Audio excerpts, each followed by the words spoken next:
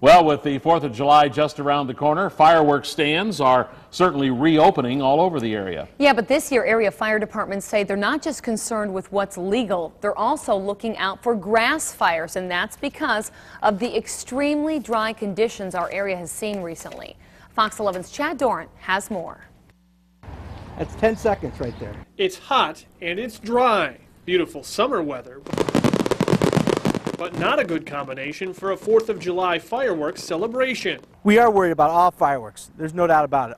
Fond du Lac Fire Chief Peter O'Leary says the conditions we're experiencing now are more like mid-August. He says it's something he and other area fire departments are keeping an eye on. You saw how quickly that one sparkler burned this small area in just a matter of seconds. And Chief O'Leary says with conditions this dry and just a little bit of wind, this quickly could get out of hand. You know, the wind is not a good friend for this ground too, because it, the more the wind blows, the drier this is, and, and that, that helps not only feed the fire, you know, spread of the fire, but it, it also dries out the whatever moisture the ground does get. The dry weather is even concerning to sellers. Richard Hernandez runs this stand in Fond du Lac. You got to be a little bit more careful with where you light your fireworks off. Yeah. Try to do them more on concrete and away from the grass, and just absolutely have a hose or a bucket of water handy just Yeah. in case. Only those with a permit are allowed to buy fireworks that leave the ground, move on the ground, or explode. But those same fireworks cannot be sold in many municipalities.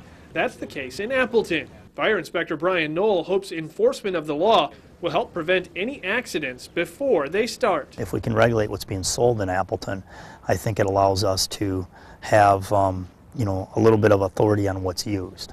And with only a slight chance of rain over the next 10 days, the grass will only get drier. And that could lead to some tough choices about fireworks displays. You know, in some cases, we might have to postpone the fireworks, and that, that could happen. Uh, certainly, we would want to do that, but safety of, of the public, you know, outweighs everything else. In Fond du Lac, Chad Doran, Fox 11 News.